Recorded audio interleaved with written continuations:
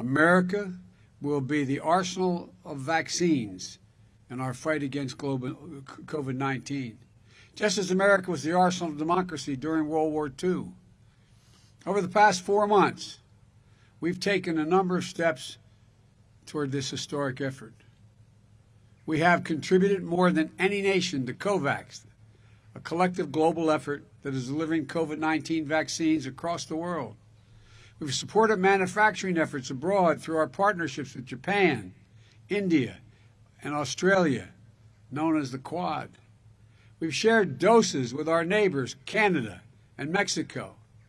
And in addition, three weeks ago, with America's vaccines, America's vaccines supplied secured, and with confidence we have enough vaccines to cover every American who wants one, we announced that we would donate 80 million doses of our own vaccine in house now to supply the world by the end of June. Many of these doses are shipping to countries around the world as we speak. And today, we're taking a major step that will supercharge the global fight against this pandemic.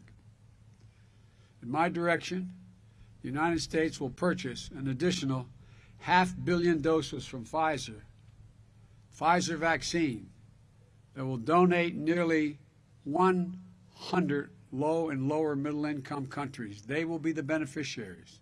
Let me say that again.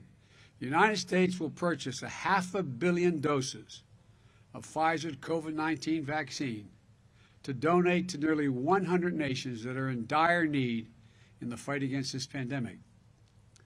That's a historic step the largest single purchase and donation of COVID 19 vaccines by any single country ever.